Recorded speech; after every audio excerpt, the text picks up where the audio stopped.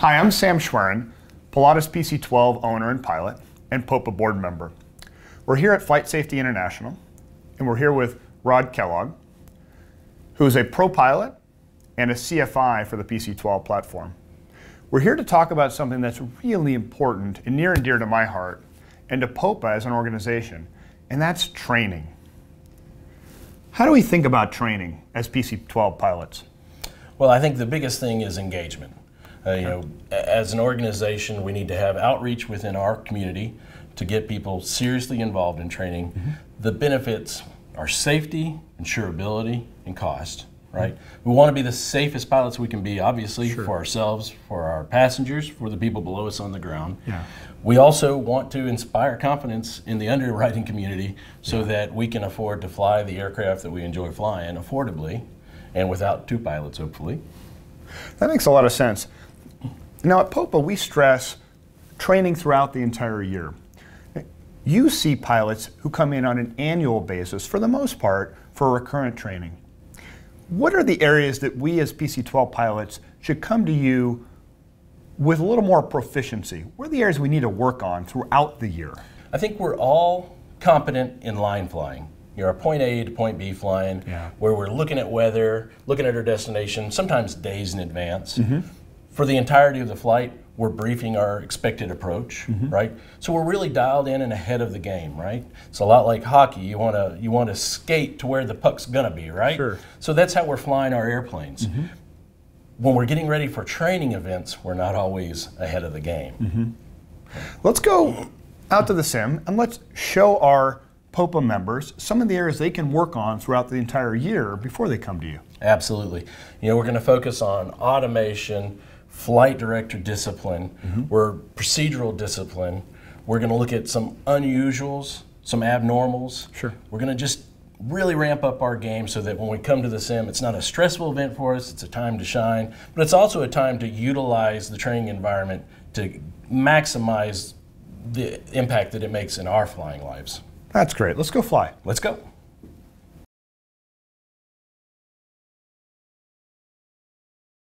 So, so yep, so right at 150, 6,500. Let me know when you're ready and we'll start okay. the maneuver. Okay.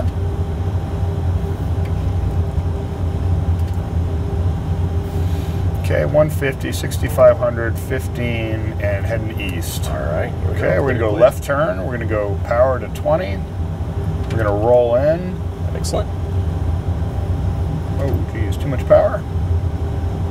I'm Going to keep it right on there. We need 30, 45, and we got to right come there. down just a little bit. A little more back. There you go. All right, checking that altitude just a little bit Power's higher. High. Yep.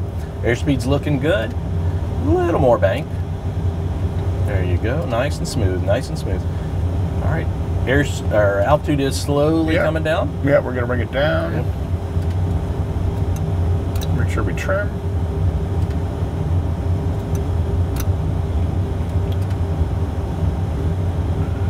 Airspeed's nice and stable. Bank's hanging in there.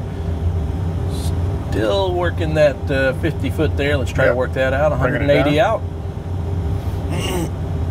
there you go. Coming down on your altitude, looking nice. Airspeed's holding together good. Bank 10. Okay. Don't let it balloon. Yep clear. Coming around. Coming back to the right. Correcting my altitude. There you go. 45. Very good. Altitude's looking great. 150 knots. Speed's bleeding just a tad. Bank is looking good right there. Altitude's looking good. Okay, if I bring it down 20 feet, I'll get to 150.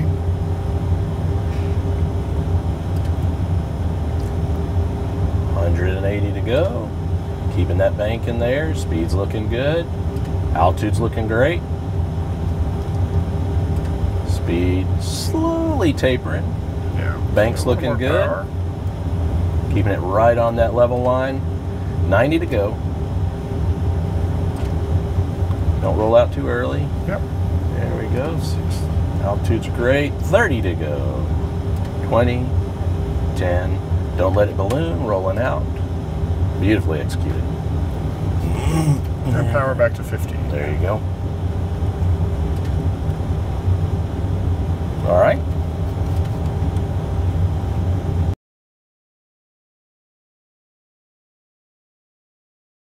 So here we are, we're at 6,500, we're about 150 uh, heading of east. So we're going to power all the way back. Roger. We're going to hold it on the horizon line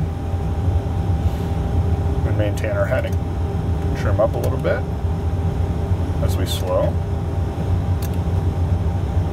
gear, gear, gear, gear, gear, gear, gear, gear, gear, gear, gear, gear, gear, gear, Okay, Gear. getting close. gear, gear, gear, gear, Okay, stall, Gear. stall, stall, Stall. Power full. Pitching down, right rudder. Speed's coming up. We have a positive rate. We're going to recover our altitude. 6,500, and we're going to bring power back.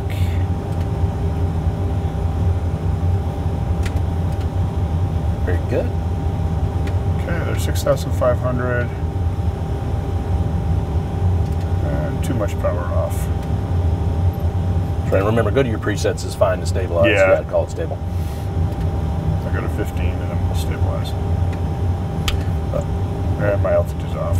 The only note I would give Yeah. on that is, I, I do advise everybody pay special attention to your dynamic speed bug here. Oh, okay, good idea. And, and so when it's up here above our indicated speed, yes. if our dynamic speed bug's up here above us, I tell everybody to resist the pull, right?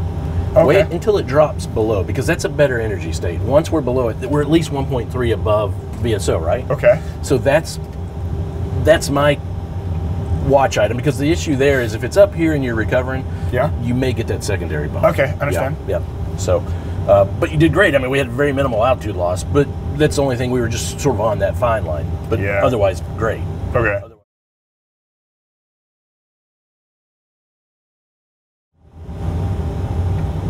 Okay, so 65. So we're going to initiate our turn. The power's back down. Yep. There you go.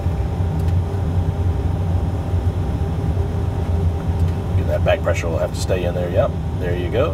Bringing the stall to you. Okay. Stall, stall, Stall. Okay, level. Gear to third. Uh, gear to f- flaps to 15. There you go.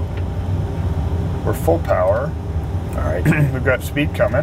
Yep. We've got positive, almost a positive rate here. Yeah. There's positive rate. Gears up, and we're above 100, so we'll go flaps to zero.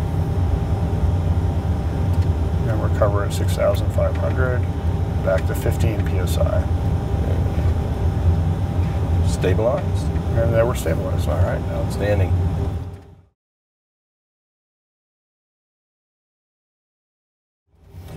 All right, so again, we're talking about the dynamic speed bug here, and we're talking about recoveries. Getting on the pedals there. All right. So,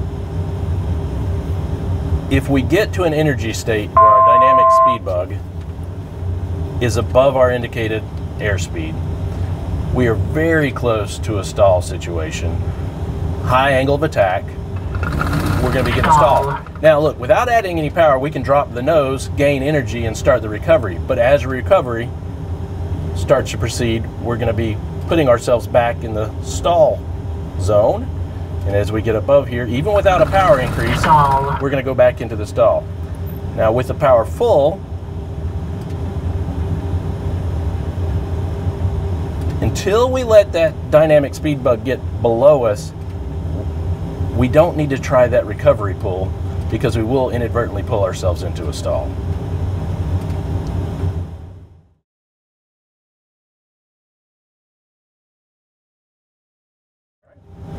Alrighty, if you can, uh, close your eyes, Okay. sit on your chest, and put it in a left turn. Left turn. You can continue that left turn.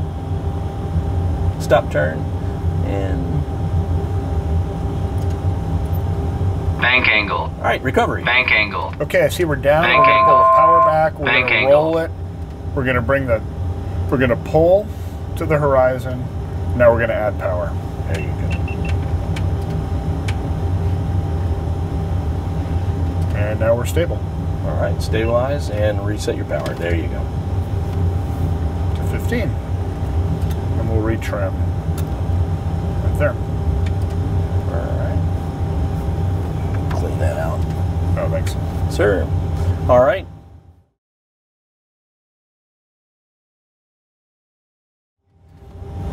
All right, and close your eyes. Okay. Here we go.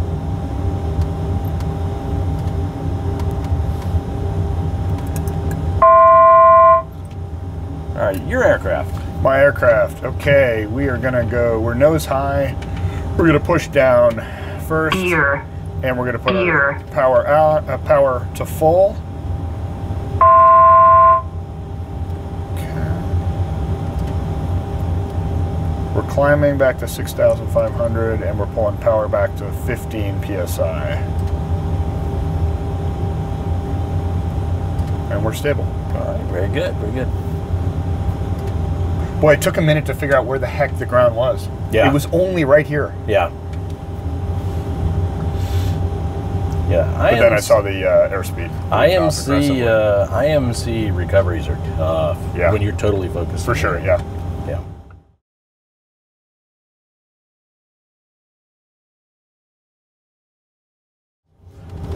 All right, so we're uh, on the VOR runway 14. We're going to circle land runway 1 right at Wichita. So we are joining right here uh, just inside the final approach fix. We're on speed, fully configured, and descending down to our first descent point at Chugov.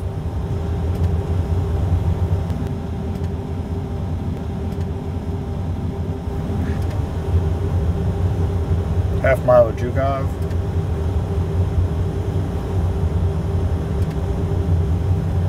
Vertical speed down to 700.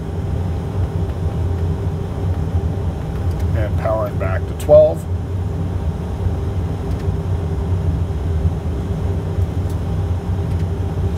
Okay, descending. Looking for the airport. Mins 1,800. We've got gear down, 15 flaps. We're fully configured.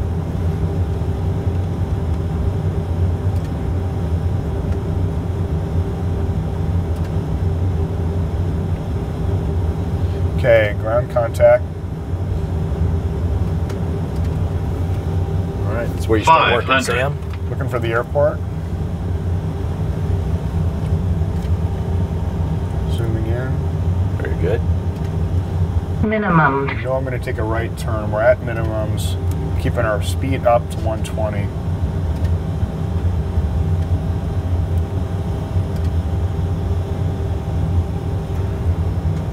Going to this far runway here. Speed is okay. A little more power.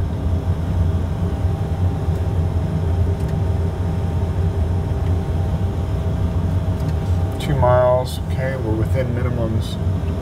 Let me know when you have the runway in sight. Okay, I've got the airport environment.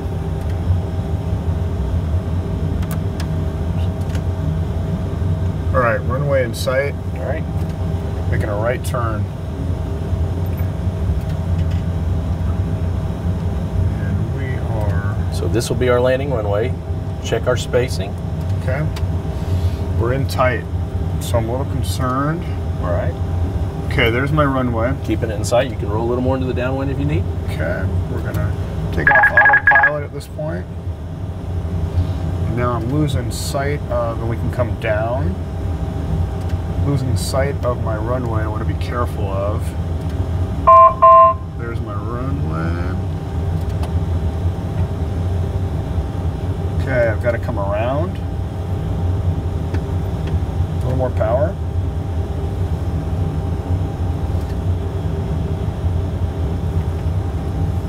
coming around. I should see the runway soon here. There it is. And I'm All rolling right, here's the it. painful decision right here, right? What do we do? Okay, we're gonna go missed, which means we've got to turn all the way around and go missed. So what do we do? There you go. So Toggles. go around. Power's coming up. Check the scoreboard right now because you've hit Yeah. togas. So we're gonna hit nav. Very good. Coming around, we're into the clouds. Autopilot at this point. And we've got a positive rate, gears coming up. Separator stays open. We're above 100, we're gonna bring flaps up. We're on the missed. Let's just reconfirm we are where we think we are. We are. Good. Then we can see ourselves right here. We're gonna come out here, we're gonna take a left, a right turn back around, is what I expect. And we need to go to 3000. In the controlled environment, you'd be talking to the tower right now. He'd most likely give you a heading. So we'll give you a heading right now. Climb to 3,000 Okay. and turn uh, left to a heading of 360. Left 360.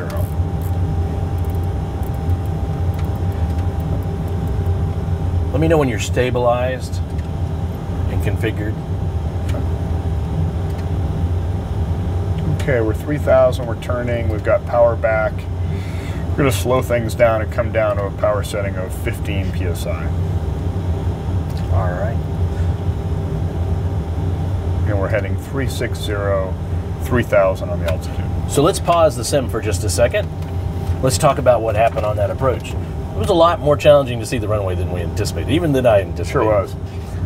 As soon as we kicked the autopilot off, I think we started seeing all the hazards that we're exposed to during one of these circling approaches. Mm-hmm. I don't know if you saw, our energy state got alarmingly low a couple of times. Mm. Our bank angles got really high. Mm-hmm. This is a great example of why we don't want to shoot the single pilot at night in the weather. Uh, we really want to use these training scenarios to get a good understanding for why we're going to refuse this style of approach. Yeah, absolutely. At 467 feet off the ground, we got a little below minimums as soon as we kicked the autopilot off. Perfectly normal. We started getting excessive bank. We started losing our positive energy state control, mm-hmm. right? We finally found ourselves at the impact point for one of these approaches, which is we're we're overshooting, we're very low level, we're low energy state. We've got to make that decision. We're looking at it. It's hard not to try to suck it in, right? yeah, But- absolutely. But, what's the right thing to do? yeah, go around. Go around. You do exactly what you did, Sam. So that's the right thing to do.